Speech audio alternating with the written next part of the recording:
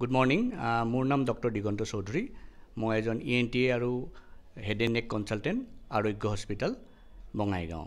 তো প্ৰথমতে মই আই লাভ বঙাইগাঁওক ধন্যবাদ জনাব দিছোঁ কাৰণ আজি বিশ্ব স্বাস্থ্য দিৱস। আৰু এইদিনাখন তেওঁলোকে আহি ইয়াতে কিছু সজাগতা বাবে এনেকুৱা ধৰণৰ প্ৰগ্ৰেম এটা কৰিছে তাৰ বাবে অশেষ ধন্যবাদ থাকিল। তো world health organisation W H O' বা বিশ্ব স্বাস্থ্য সংস্থা এইটো আজি seventh April two thousand twenty two কিন্তু আৰম্ভ হৈছিল ছেভেন্থ এপ্ৰিল নাইনটিন ফিফটি তো প্ৰত্যেক বছৰৰ নিচিনাকৈ এইবাৰৰ থিমটো হৈছে আৱাৰ ক্লাইমেট আৱাৰ হেল্থ তো আৱাৰ হেল্থৰ তাৰমানে কি হয় যে আমাৰ স্বাস্থ্যটো আমাৰ পৰিৱেশ বা প্ৰকৃতিৰ ওপৰত নিৰ্ভৰ কৰে। আমাৰ প্লেন প্লেনেটখন ভালে থাকিলেহে আমাৰ নিজৰ স্বাস্থ্যটো ভালে থাকিব।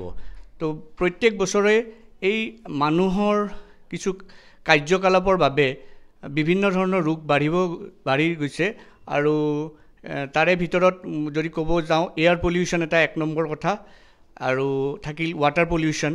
য'ত এয়াৰ পলিউশ্যনত আমি প্ৰত্যেকটো মানুহে ধৰক দহজনৰ ভিতৰত নজনে বিশুদ্ধ বতাহ নাপাওঁ।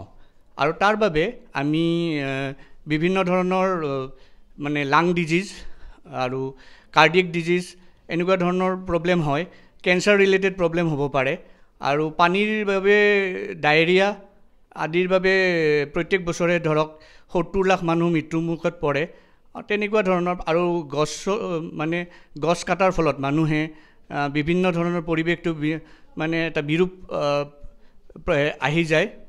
তো সেয়ে আৰু মানুহখিনি সজাগ হ'ব হৈছে। তো আজিৰ দিনত মই মানুহখিনিক এই ক'ব বিচাৰিছোঁ যে এই প্ৰকৃতিক যাতে অনিষ্ট নকৰে কাৰণ প্ৰকৃতি ভালে থাকিলেহে আমি সকলোৱে ভালে থাকিম। ধন্যবাদ।